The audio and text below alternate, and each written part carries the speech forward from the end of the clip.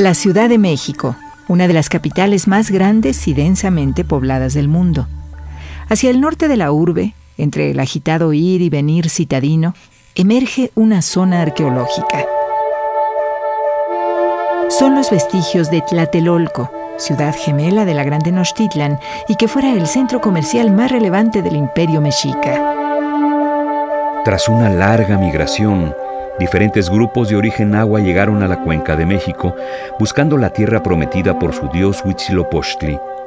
Venían del norte, de un mítico lugar llamado Aztlán, lugar de la blancura.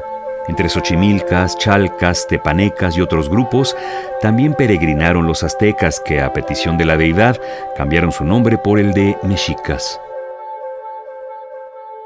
Luego de penalidades y contiendas con los pobladores establecidos en el entorno de los grandes lagos centrales, los mexicas fundaron sus ciudades. Torquemada dice que Huitzilopochtli ofreció a los mexica un par de quimiles, pequeños envoltorios sagrados. Uno contenía dos palillos y el otro una piedra de jade. Pelearon por la posesión del Chalchihuitl, formando dos bandos el dios ordenó que unos se quedaran con las varitas y los otros con la piedra y se fueran a fundar Tenochtitlan y Tlatelolco. Se instalaron en islotes del lago de Texcoco.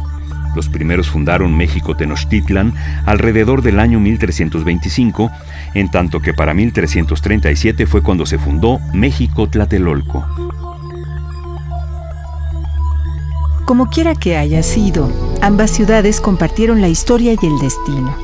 Un poco más de un siglo después, ya construidos templos, palacios, barrios, canales y calzadas, y establecida la hegemonía de los señores de Tenochtitlan sobre los pueblos vecinos, el mercado más importante del imperio tepaneca fue trasladado a Tlatelolco para 1430. Una inmensa cantidad de bullicio y de mercaderías, para vestir, para comer, para ofrendar. Tlatelolco nombre náhuatl que podemos traducir como lugar de la plataforma o terraza.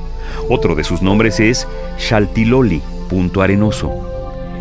En el recinto ceremonial se desarrolló una arquitectura monumental adecuada a la alta jerarquía sacerdotal de la ciudad.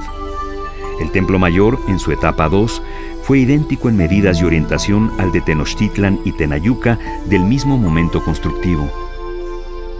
El ahora llamado templo calendárico tiene sus fachadas secundarias decoradas con glifos que representan las tres primeras trecenas del calendario ritual y en 1989 se descubrió una pintura mural con la representación de los dioses creadores del tiempo, Zipactonal y Oshomoko, asociados a la cuarta trecena.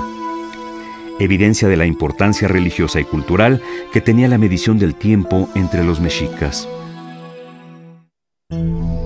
En la zona arqueológica de Tlatelolco podemos contemplar más de 60 estructuras que fueron antiguos templos, palacios, altares. Ahora el conjunto convive con las construcciones coloniales de la iglesia y el convento de Santiago y los grandes edificios habitacionales levantados en los años 60 del siglo XX. Por ello se llama así la Plaza de las Tres Culturas, una reunión arquitectónica de diferentes etapas en la historia de la urbe la prehispánica, la colonial y la contemporánea. Cuando la conocieron, los españoles quedaron admirados con la belleza y las dimensiones de la plaza de Tlatelolco y con las multitudes que hacían ahí sus transacciones comerciales. Aquella era una ciudad en pleno auge y el joven Cuauhtémoc había sido elegido su señor, su Tlatoani. Pronto, la guerra de conquista convirtió los alrededores, los lagos y las calzadas en campos de batalla. A la muerte de Cuitláhuac en 1521, Cuauhtémoc fue nombrado también señor de Tenochtitlan y dirigió la resistencia indígena en el sitio de Tlatelolco que duró 80 días. Finalmente fue hecho prisionero por los españoles el 13 de agosto de 1521. Todo cambió. Empezó la historia colonial para las dos ciudades del lago de Texcoco.